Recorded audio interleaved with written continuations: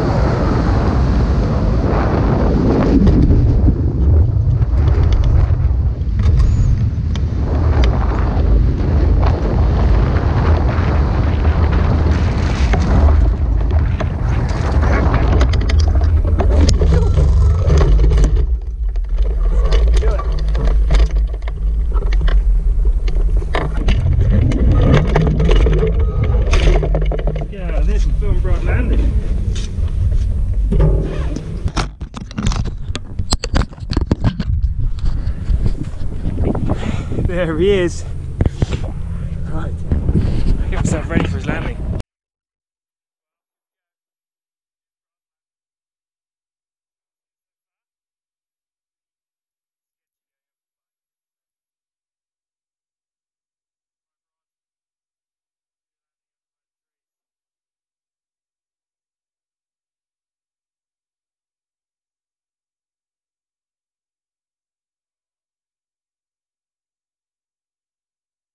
Well, there we go. I went and carried his glider back for him. His little legs were struggling.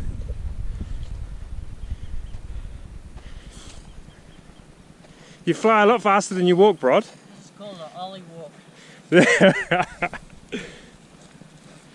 fly a lot faster than I walk, that's right. Thank you. wow. Good day, eh? Needed that after the past few days. Want to be going over the Bunyas that low again, but uh, I made it out of there. Made nine grand at the end, then glided into goal. Took one little climb halfway, and it's good times.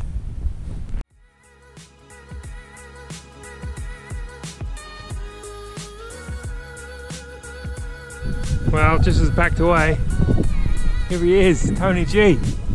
Made it in all on his own. It's a great effort. Hopefully he won't land 4Ks away and I can get it on video.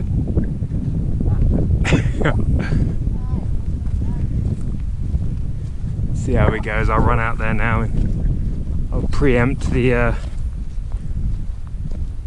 long landing. That beautiful RX Pro.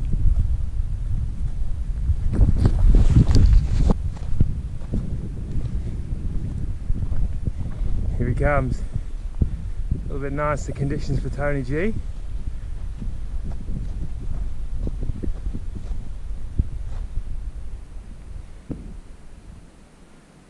bit late on the uprights, but we'll let him off.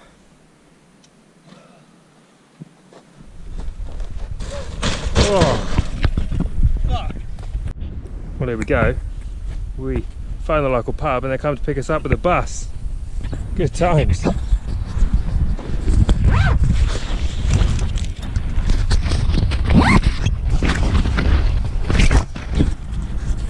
Look at that. Perfect, eh, Bronny? There we go. Perfect, thank you. Actually, our first passengers in the new bus. Oh yeah? Oh, we found the right place then. Wow.